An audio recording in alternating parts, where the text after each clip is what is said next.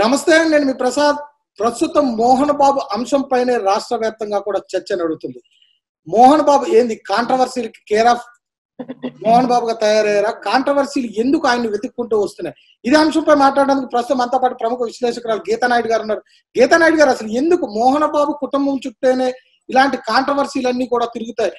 గత సంవత్సరం క్రితం బ్రాహ్మణులపై దాడి చేశారన్నారు. ఇప్పుడు నాయి బ్రాహ్మణుడు అయినటువంటి నాగశ్రీనుని మోకాలపై కూర్చోబెట్టి అతని కులంతో దూషించారని ఆయన ఆవేదన వ్యక్తం చేశాడు. అసలు ఈ ఎపిసోడ్ ఏ విధంగా చూడాలంటారు? నమస్కారం అండి ప్రసాద్ గారు. ఆ ఏంటంటే మోహన్ బాబు గారు ఫస్ట్ నుంచి కూడా సినీ ఫీల్డ్లో చాలా మోస్ట్ సీనియర్ యాక్టర్ అని అందరికి తెలిసిన విషయమే.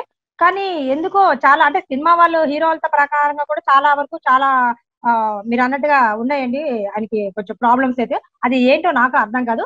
ఇప్పుడు లేటెస్ట్గా మనం కనుక మనం చూస్తే అంత ముందు కూడా ఒక బ్రాహ్మణ్స్ ఇలాగే అటాక్ చేశారు ఇంటి మీద కూడా మనం చూసాము అది కూడా.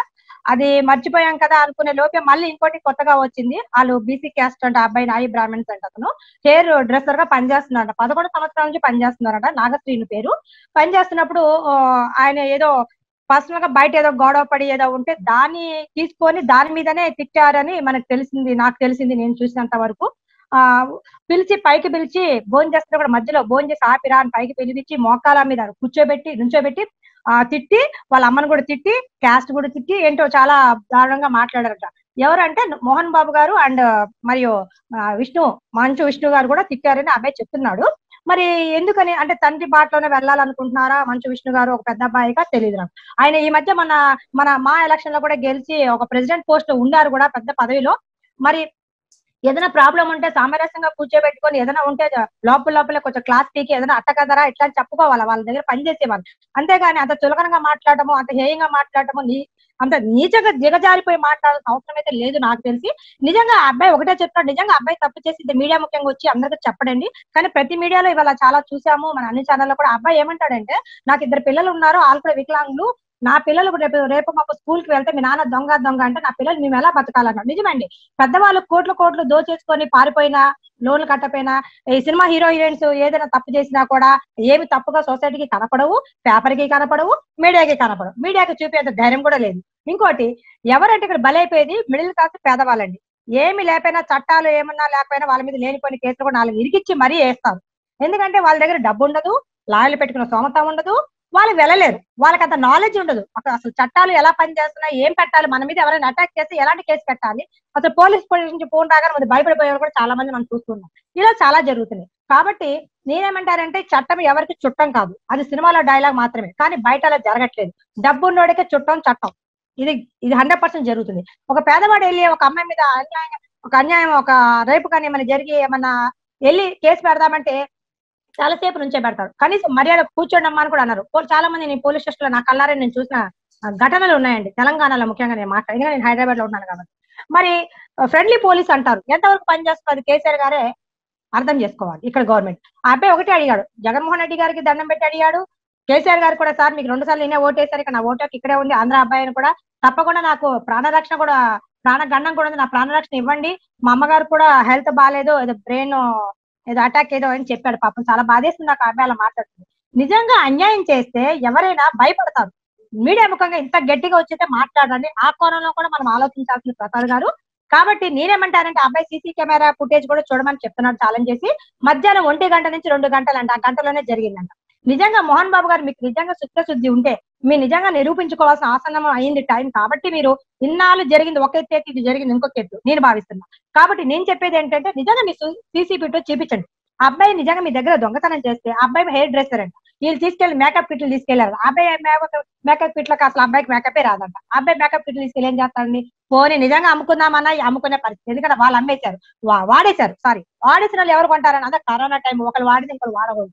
భయపడతారు. అది కూడా చెప్పాడు ఆ అబ్బాయి. నేను చెప్పింది కాదు. కాబట్టి నేను చెప్పేది ఏంటంటే సీసీ కెమెరా ఫుటేజ్ క్షుణ్ణంగా పరీక్షించాలి. ఎవరు? Police department. పరీక్షించి నిజంగా అబ్బాయి తప్పైతే కేసు పెట్టమనండి. అబ్బాయి అన్నాడు నిజంగా నా తప్పైతే కేసు పెట్టండి నేను చెప్తే అమ్మాయి ఇస్తా అన్నాడు. అబ్బాయి నిజంగా తప్పు చేయకపోతే పారిపోవాలి కదా? భయపడి. పారిపోవాలా మీడియా ముందు వచ్చి అంత గట్టాబద్ధంగా అంత వాయిస్ ఇచ్చి అంత గట్టిగా మాట్లాడుతున్నాడంటే ఆ కోణంలో కూడా పోలీసులు దర్యాప్తు చేసిన పని ఎంతైనా ఉంది. ఇది పోలీస్ డిపార్ట్మెంట్ పని.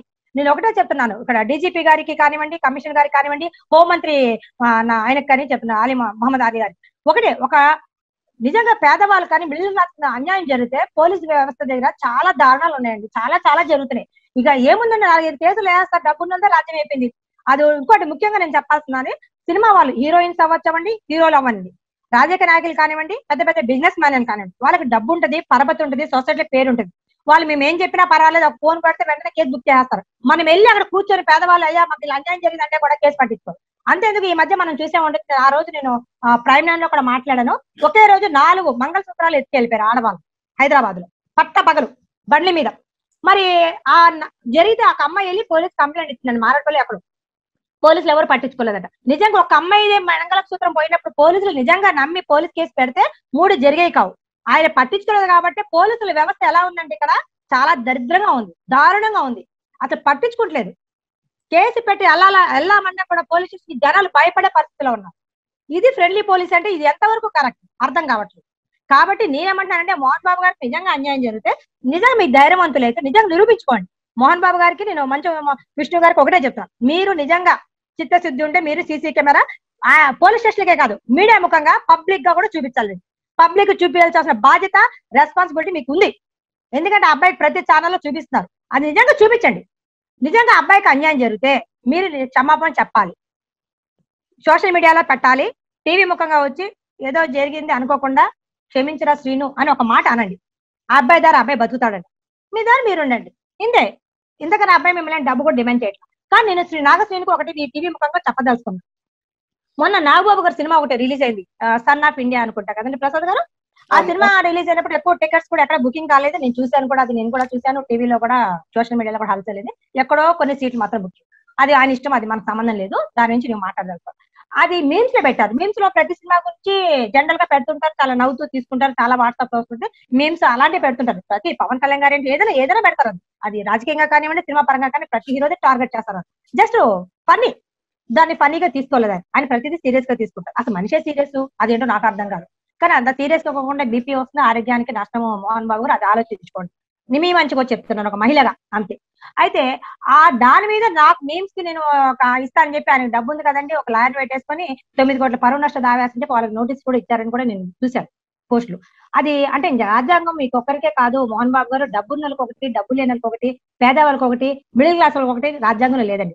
మనిషి అనక ఆడ అయినా మగ అయినా రాజ్యాంగం ఒకటే ఉంది అందరికి ఒకటే ఉంటుంది చట్టము లా అండి ఆర్డర్ ప్రకారం కానీ నడుచుకోవట్లేదు. ఇంప్లిమెంట్లోనే పోలీస్ వ్యవస్థ కానివ్వండి లా కానీ ఇంప్లిమెంట్లో మాత్రం జరగట్లేదు. కానీ నేను ఒకటే చెప్తున్నాను శ్రీను నువ్వు భయపడాల్సిన అవసరం లేదు నాన్న.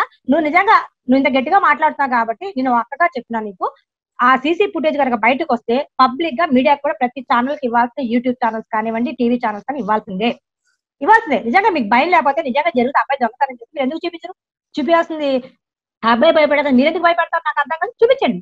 చూపించండి. టైం టు టైం అబ్బాయి మధ్యాహ్నం వన్ నుంచి టూ అన్నారు. ఆ టైం చూపించండి. నిజంగా అబ్బాయి తప్పైతే మేమందరం కూడా అబ్బాయిని మళ్ళీ మేము డిబేట్లో మాట్లాడి చెప్తాను నేను. అబ్బాయికి శిక్ష వేద్దాము తప్పకుండా. మీ వస్తువులు ఏమైతే తీసుకెళ్ళాడో ఐదు లక్షలు ఏదో అన్నారు దానికి అవన్నీ కూడా మీకు తిరిగి ఇస్తాడు ఆ అబ్బాయి. ఒకటి. రెండో దగ్గర అట్లా జరగకపోతే నిజంగా శ్రీనుది ఆ- కరెక్ట్ అయ్యి మోహన్ బాబు గారి దగ్గర నిజంగా తప్పు జరిగితే ఈ అబ్బాయి పరువు నష్ట దావా వేయచ్చు.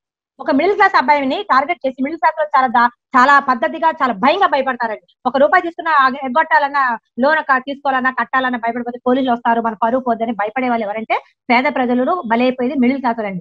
సిగ్గు లేదు ఎవరికంటే ఎక్కువగా డబ్బున్న వాళ్ళకి ఎందుకంటే వాళ్ళు పారిపోతారు. డబ్బులు తీసుకొని పాస్పోర్ట్ పట్టుకుని రాత్రి రాత్రి ద- పోలీసులు ఈ అన్ని ఇప్పుడు ఎవరు పట్టించుకోరు. చక్కగా వెళ్ళిపోతారు ప్లేన్ ఎక్కుతారు వెళ్ళిపోతారు అక్కడ కూర్చుంటారు. అక్కడ లా అండ్ ఆర్డర్ వేరే కూడా మంది వేరే కూడా.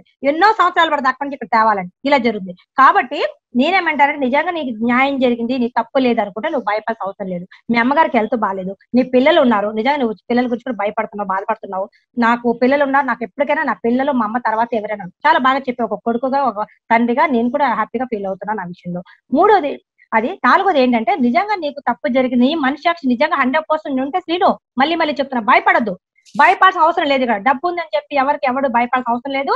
ప్రాణం తీస్తారని చెప్తున్నారు. ఒక కేసు కూడా పెట్టేసారు మీడియా మీడియా వాళ్ళు కూడా అందరికి చెప్పేసి నాకు ప్రాణగండం ఉంది నీకు ఎవరైతే అనుమానం ఉందో వాళ్ళ పేర్లు కూడా పెట్టేసి పెట్టేస్తే ఏదేమైనా వాళ్ళే పట్టుకుంటారు అప్పుడు నువ్వు అదంటే డబ్బు పరంగా కూడా నువ్వు వాళ్ళని డబ్బు కూడా వసూలు చేయొచ్చు నాన్న. పరువు నష్ట దావా కూడా వేయొచ్చు. ఆయనకే కాదు నువ్వు కూడా వేసే పెద్ద అమౌంట్ తీసుకో.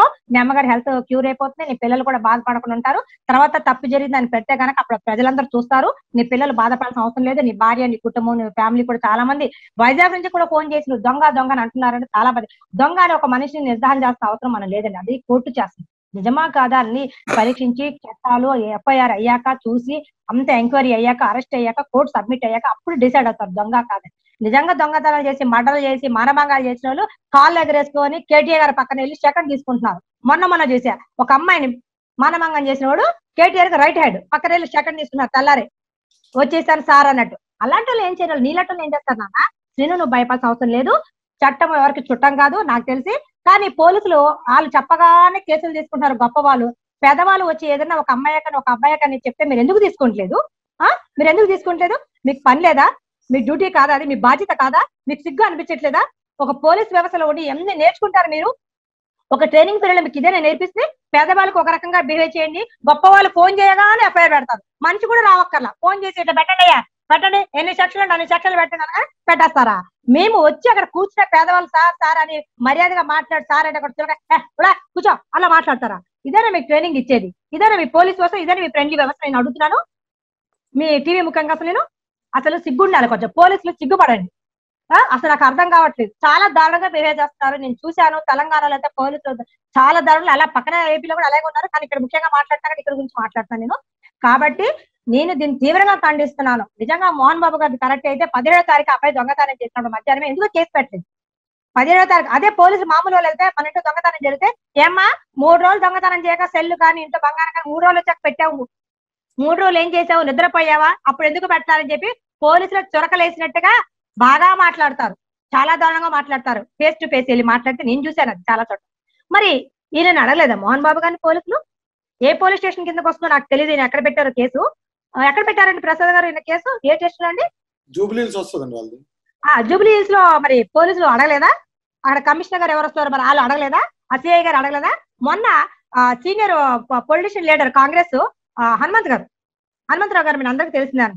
ఆయన ఏదో గొడవ అయ్యి ఆయన ఏదో అన్నారని తెలుస్తాం నాకు అంతగా తెలియదు వెళ్ళి ఆయన కేసు పెడతానికి వెళ్తే ఆ ఎస్ఐ లేచి కనీసం ఆయన నమస్కారం పెట్ట. కనీసం ఈయన ఎస్ఐ అవ్వచ్చు. ఎస్ఐ అయితే ఆయనకి గొప్ప అండి. ప్రజలకు గొప్పగా తెలియదు ప్రజలు సర్వెంట్స్ ప్రజల పనిమనుషులు సరిగా చెప్పాలంటే. సర్వెంట్స్ అంటే పనిమనుషులు అంటారు తెలుగులో. సర్వెంట్స్ అంటారు ఇంగ్లీష్లో పాష మనం డబ్బులు ఇస్తే జీతాలు తీసుకునే వాళ్ళు మనకి మర్యాద అయిపోతే ఎలాగంటే ప్రసాద్ గారు ఇంతకన్నా దారుణం ఇంకోటి ఉంటుందా? ఆయనకి వయసుకి కానీ మనం మర్యాద ఇవ్వాలి. ఆయన పార్టీ మీకు ఇష్టం లేకపోవచ్చు మీరు టీఆర్ఎస్ ఇంకేదో పార్టీ అయ్యి ఉండొచ్చు నాకు అనవసరం. కనీసం పెద్ద ఆయన వచ్చినప్పుడు నమస్కారం అండి హనుమంత్ గారు ఎలా ఉన్నారండి సార్ అని అడగచ్చు తప్పలేదు. అసలు చైర్లోంచి లగటమే ఆయన బద్ధకంగా లేస్తారు. నేను చూసా టీవీలో చూపించాను. అసలు ఆయా వీడియో తీస్తుంటే ఏ వీడియో తీసి ఆపండి అంటున్నాడు. ఒకరెవరో ఆయన ఎస్టెంట్స్ ఎవరో తీస్తుంటే అసలు పేపర్ కూడా పట్టుకోవడానికి భయపడిపోతున్నాడు బాధపడిపోతున్నాడు ఆయన. ఇలాంటి పోలీసులు మన లైవ్లో ఎన్నో చూసాము. కాబట్టి తెలంగాణ పోలీసులో చాలా మార్పులు రావాలి. చాలా మర్యాద కూడా నేర్చుకోవాల్సిన అవసరం ఉంది. నేను డీజీపీ గారికి హోంమంత్రి కూడా చెప్తా.